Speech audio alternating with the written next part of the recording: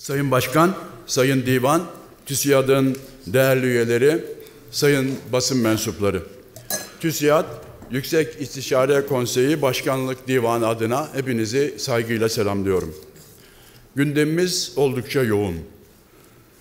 Dünya siyasetinde tırmanan gerilim ve belirsizlik, dünya ekonomisinde kara bulutlar, Türkiye ekonomisinde işsizlik, enflasyon, iflaslar, üretimdeki daralmayla mücadele, Güneydoğu sınırımızda devam eden tehditler ve bu ortamda yaklaşan yerel seçimler.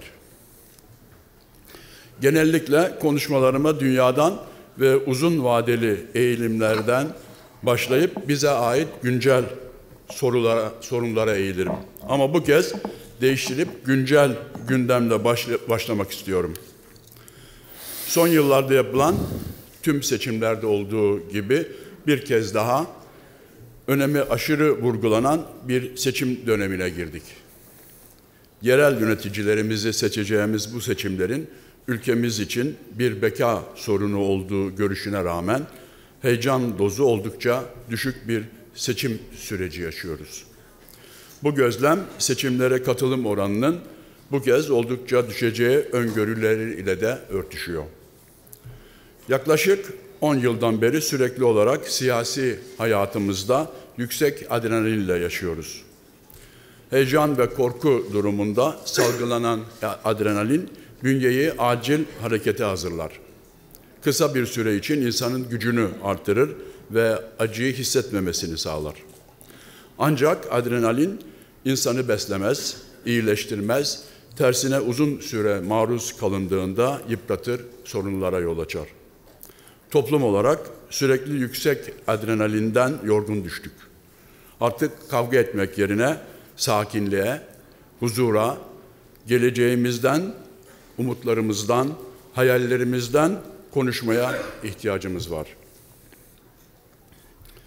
Seçmen iradesinin bir kez daha tecelli edeceği ve bazı belediyelerimizin uzun süreden sonra seçilmiş yöneticilerine kavuşacağı seçimlerin birinci maddesi yerel kalkınma olmalı. Nüfus ve milli gelir olarak dünyanın en büyük 20 ülkesi arasındaki ülkemizin ekonomik coğrafya itibariyle gösterdiği farklılıklar yerel yönetim konusunu en ciddi yönetişim başlıklarından birisi haline getiriyor. Farklı partilerden adaylar belediyeleri için tasarladıkları projeleri açıklamaya hazırlanıyorlar. Belediye seçimleri aslında yerel yönetim konusudur ve demokrasinin yerelde kök salması demektir. Fakat gösterişli projeleri tartışmaktan bu önemli konuyu tartışmaya da pek fırsat kalmıyor. Ekonomideki sorunların halkın gözündeki ağırlığının giderek arttığı bir ortamda yerel yöneticilerden beklentimiz yerel kalkınma vizyonlarını seçmenle paylaşmaları, yerelde refah artışını nasıl sağlayacaklarını, vatandaşın yaşam standartının bir seferlik değil, kalıcı olarak nasıl artıracaklarını ortaya koymaları gerekir. Değerli üyeler, yerel seçimlerde pek tartışma fırsatı bulamadığımız konulardan birisi de bölgeler arasındaki ekonomik ve toplumsal gelişmişlik farklılıkları. Bölgeler arası gelir eşitsizliğindeki iyileşmelere rağmen zengin bölgelerde ortalama gelir, yoksul bölgelerin üç katı. Ağırlaşan makroekonomik sorunlar arasında fırsat bulup konuşamıyoruz ama yerel kalkınma çok ciddi bir meselemiz. Bölgesel kalkınma farklılıklarını gidermek için yerel aktörlerin dahil edileceği katılımcı bir yönetişim sistemine duyduğumuz ihtiyaç her geçen gün daha da ortaya çıkıyor. 780 bin kilometre karelik topraklarımızı sadece Ankara'dan bakarak yönetmek mümkün değil. Merkezi karar alma ve uygulamanın eskisine oranla çok kuvvetli bir hale geldiği yeni Cumhurbaşkanlığı modelinde sistemin düzgün çalışması, merkezde keskin bir güçler ayrılığı ve hukukun üstünlüğü ülkesine bağlı olduğu kadar yerelliğin dikkatte alınmasına da bağlı. Yerel kalkınmada geçmişte yapılmış olan hataların sonuçlarını bugün gıda enflasyonu, işsizliğe, çevre kirliliğinden kentleşmeye birçok alanda görüyoruz ve yaşıyoruz. Uzunca bir süredir gündemde olan gıda enflasyonu bu seçimlerde de en öne çıkan konulardan birisi. Bazı gıda ürünlerinin fiyatlarından meydana gelen çok yüksek artışlarda iklim koşullarının bir etkisi olduğunu kabul etsek dahi gıda fiyatlarının 10 yıldan beri enflasyonun üzerinde seyrediyor olması meselenin hava koşullarından ibaret olmadığını ortaya koyuyor. 2007'den 2018'e kadar dünyada gıda fiyatlarındaki artış sadece yüzde on. Ülkemizde ise yüzde iki yüz. Gıda fiyatları uzunca bir süredir tüketici fiyatlarından çok daha hızlı artıyor.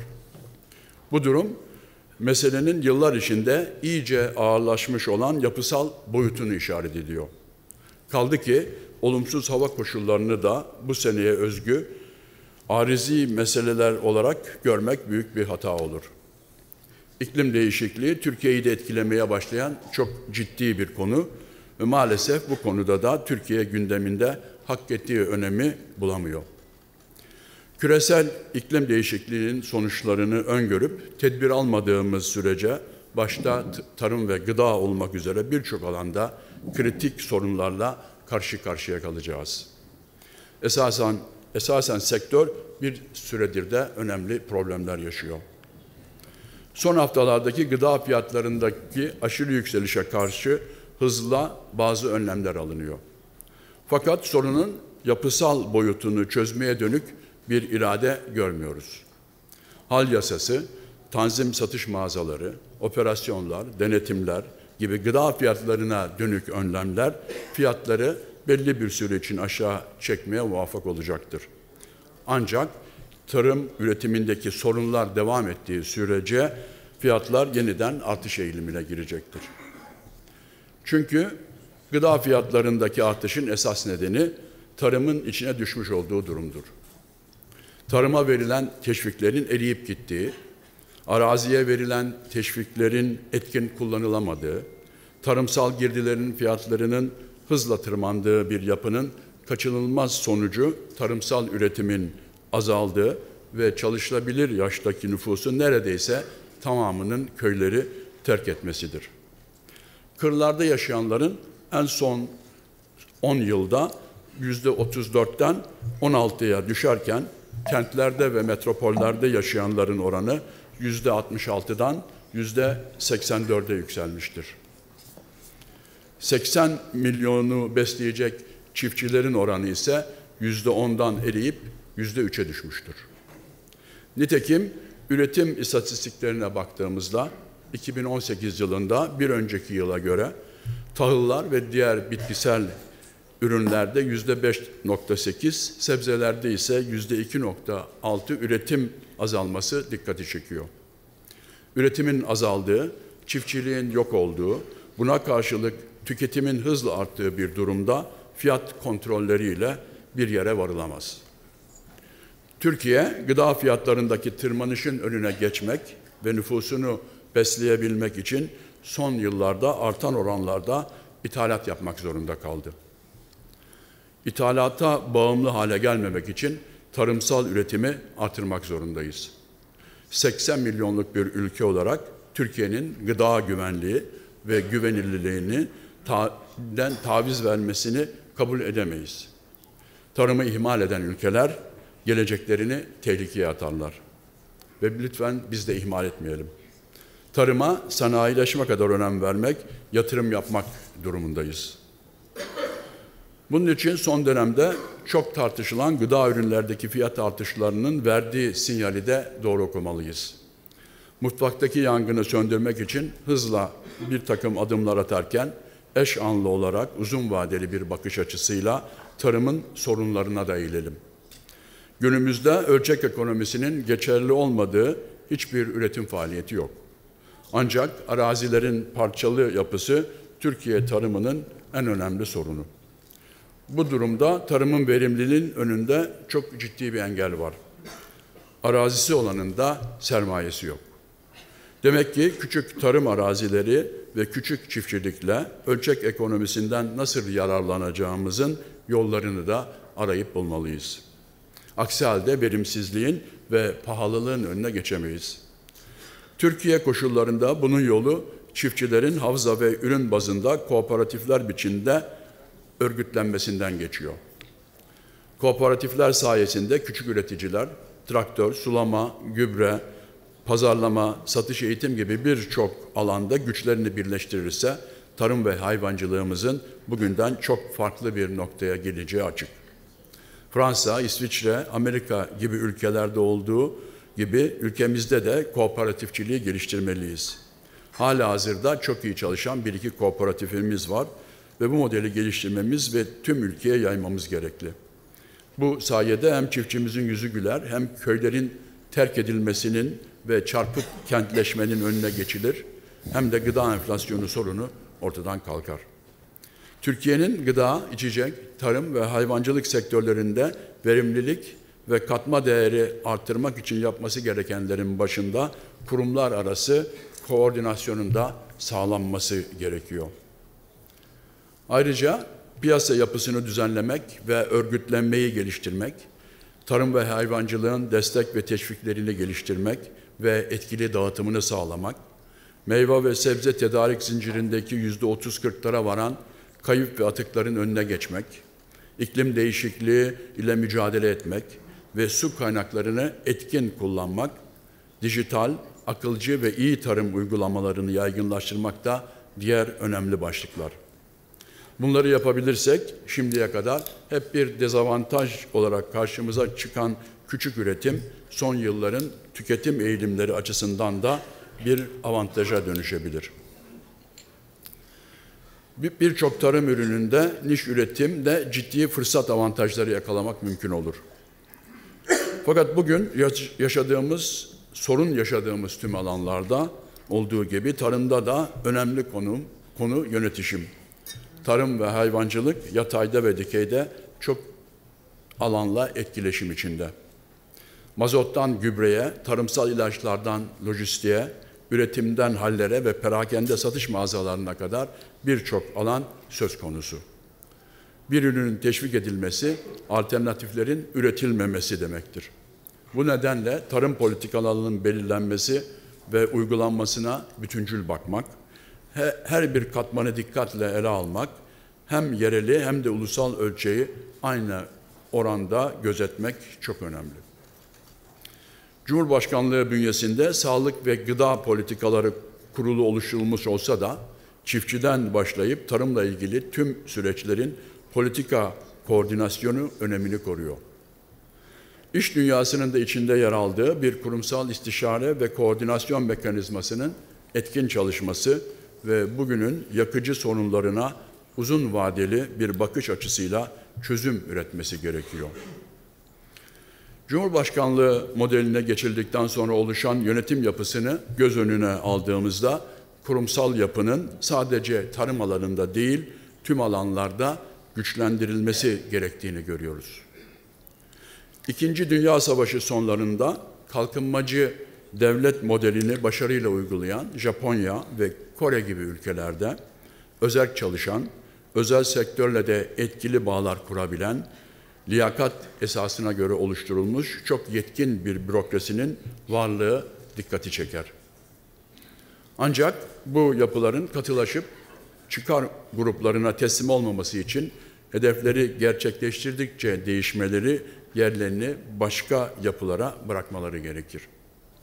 İrlandalı devlet adamı Edmund Burke'un daha 1790 yılında uyardığı gibi değişim kabiliyeti olmayan bir devletin kendisini muhafaza etme imkanı olamaz. Bu söz aradan geçen yüzyıllarda defalarca doğrulandı.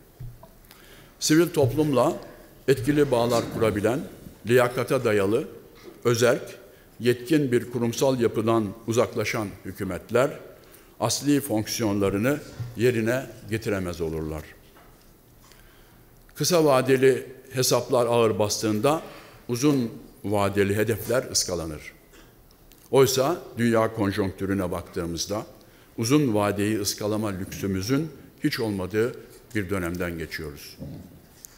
2008 krizinden bu yana düşük seyreden ekonomik büyüme, yaygın işsizlik ve refahın gerilemesi sonucunda dünyada popülizm güç kazanıyor. Milliyetçi retoriği kullanan, korumacılığı ve içe kapanmayı savunan siyasi partiler birçok ülkede prim yapıyor. İngiltere örneğinde gördüğümüz gibi siyasi ve sosyal iklimdeki değişime etkili bir cevap üretme kapasitesinin olmaması belirsizlik ve istikrarsızlığı artırıyor. Küresel güç dengesi hızla batıdan doğuya doğru kayıyor.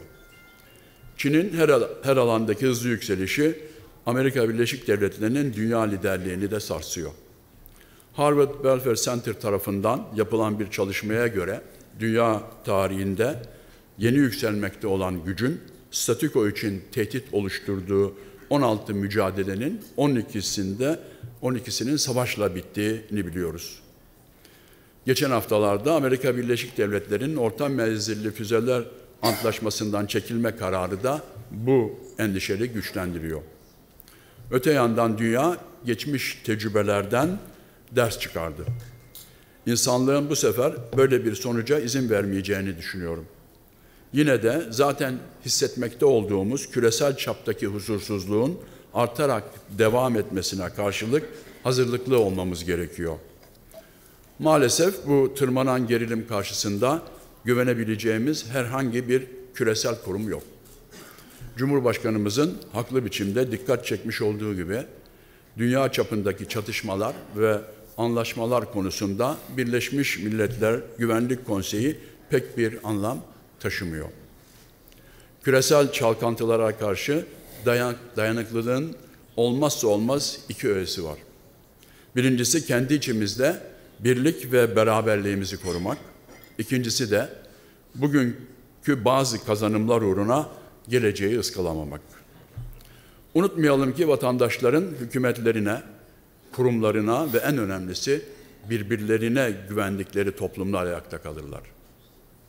Bu güveni sağlamakta her şeyden önce hükümetlerin görevidir.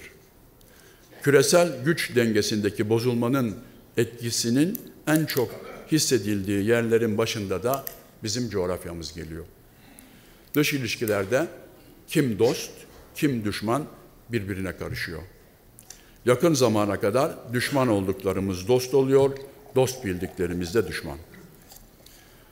Rusya ve Amerika Birleşik Devletleri ile ilişkilerimizde görülen gelgitlere karşılık diğerlerine göre daha az bölgesel çıkar peşinde olan Avrupa Birliği ile ilişkilerimizin daha istikrarlı ve dengeli olduğunu görüyoruz.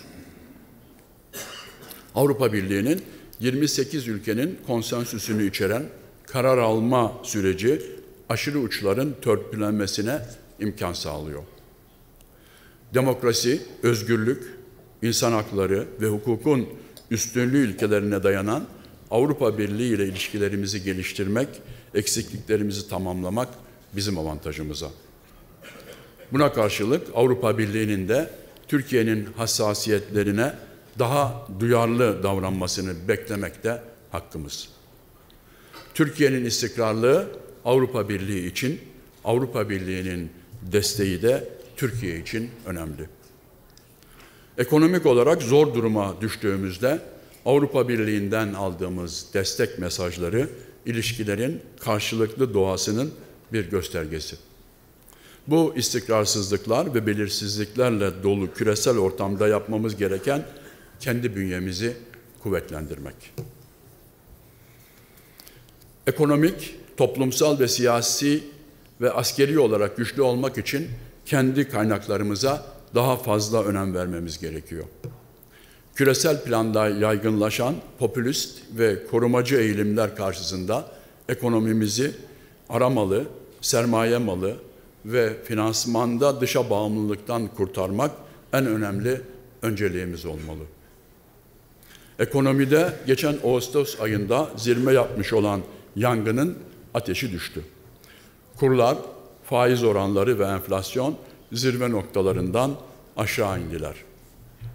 Dış ticaret açığı ve cari açık daralıyor. Ne kadar devam edeceğini bilmesek de bunlar olumlu gelişmeler. Buna karşılık üretim daralıyor, satışlar düşüyor, yeni istihdam yaratılamıyor ve işsizlik artıyor. Genel tablonun özeti kısmi iyileşmeye rağmen ekonomide kırılganlıkları yaratan nedenler de devam ediyor. Sadece arazları hafifletmeyle yetinip bunlara yol açan nedenler tedavi edilmezse bugün değilse yarın aynı hastalıkların nüksetmesi kaçınılmaz olur. Maliye ve ekonomi kadroları bozulan dengeleri yeniden eski yerlerine oturtmak için var güçleriyle çalışıyorlar. Hükümetimiz ekonomik zorluklarla mücadele için paket üzerine paket açıyor. Kamu bankaları kaynaklı ucuz krediler, COBİ'lere sağlanan KGF destekleri, başka bankalardan alınan kredi kartlarının bireysel kredi borçlarının ve ihtiyaç kredilerinin yapılandırılması, hal baskınları, fiyat denetimleri, tanzim satış mağazalarının yeniden açılması, sayısı giderek artan sektörde de KDV indirimleri ve futbol kulüplerinin borçlarının yapılandırılması. Bu önlemlerin ortak özelliği kısa sürede sonuç alma hedefi taşımaları. Oysa yapısal sorunlar geçici önlemlerle çözülemez. Daha önce de çözülmedi, başka ülkelerde de çözülmedi, şimdi de çözülemez. Çünkü bu matematik gibi matematik hesap meselesidir. Durum Çinlilerin susuzluğu gidermek için zehir içilmez atasözünü akla getiriyor. Kredi yeniden yapılandırmaları ve buna karşılık devam eden ve sektörlerden sektöre yayılan kongortatolar ve iflaslar ciddi bir finansman sorununun tezahürleri. Yapısal önlemler alınmadan yapılan uygulamalar bir sonraki dönemde sorunun daha da ağırlaşarak geri dönmesine yol açar. Reel sektörün finansman sorunu çözülmezse sorun bankacılık ve kamu sektörüne sıçrar. Derin finansal krizler böyle gelir.